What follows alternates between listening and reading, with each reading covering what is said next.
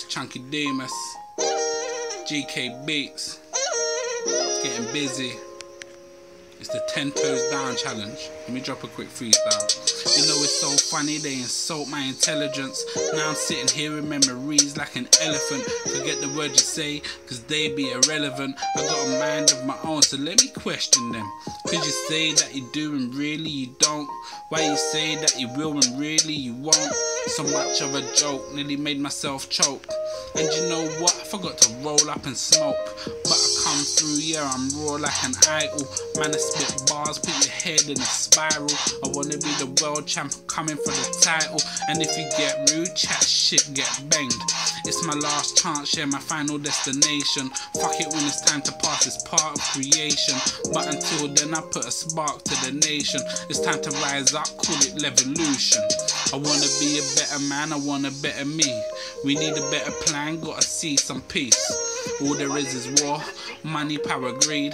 Tell me why you think there's always trouble on these streets. It's like we're doing nothing wrong, following our leaders. They're out here killing everyone, call them the teachers. Bringing in the drugs, we know they're the feeders. Trying to break us down all over the kingdoms. Why do you think they keep the money in the bloodlines? Funding all the wars that they ain't never done time. Killing off millions like it's legal genocide. But if they ain't touching you, then everything's alright. But if they ain't touching you, then everything's alright. I gave you a moment to think what I just said. Did you get the message? Did it go through your head? This ain't just for me, but all the people infected. Hope you understand if you ain't been affected.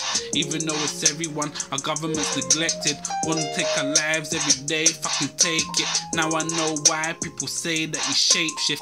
Say it for the people, then secretly change it. You got me like Neo, running through this matrix. They ain't gonna stop until the day we change this. My first time in the booth, I broke my virginity, applying agility, artistic artillery, middle finger up, saying fuck the industry. I won't ever sell my soul to get a little P.